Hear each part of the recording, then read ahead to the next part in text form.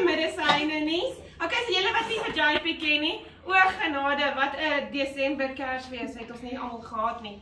Um, so JP het laas jaar net voor Kersfees toe is hy na my toe gestuur met 'n groot massa in sy in sy maagie. En was toe nou 'n niertumor. Alright, biopsie gedoen, huis toe gegaan. Ons dink ons gaan nou okay wees terwyl ons al hierdie medisyne bestel. Die Sondag kry ek 'n boodskap van Karla sy ma af. Nee, JP kan nie sy voete, hy kan nie sy voete beweeg nie, hy kan nie sy tone beweeg nie, hy kan nie loop nie. Dis krisistyd.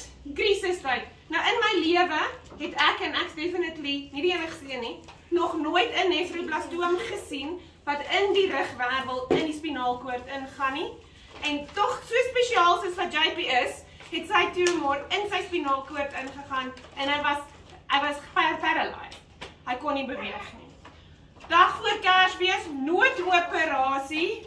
Ehm um, sodat ons daai tumor uit die wervelkolommetjie kan uithaal sodat ons weer gevoel kan terugkry. En ek sê vir dit was baie gebede ehm um, van die Hemelse Vader daarbo af en ons sê elke dag vir hom dankie. Ehm um, dat dit wel die keis was dat hy wel die gevoel teruggekry het en begine loop het. En nou moet jy hom net terughou en nou hardloop hy sommer.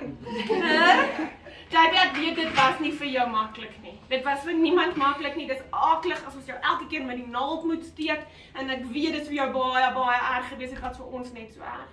Maar ek is baie bly dat ek vandag kan sê jou sonaar is heeltemal skoon en dat ons vandag sien dat jy die endermissie is. Alraai baie trots op jou my engeltjie kom hier. Ek gaan net met ons slaan. Ek baie trots op jou. Hierdie is jou medalje om te sê jy is 'n cancer champion en jy het nie dat dit jou onder gekry het nie. Ons is verskriklik trots op jou.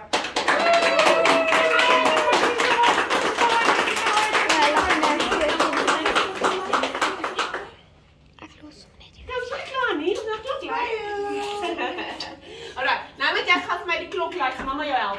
Lees. Papa gaan. Papa gaan. Kom help my papa. Papa help my vandag. Because Daddy's alongside by Papa.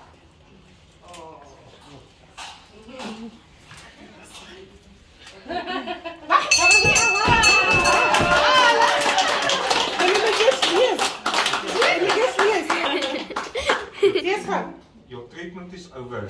Ray, oh, ray. oh, shit.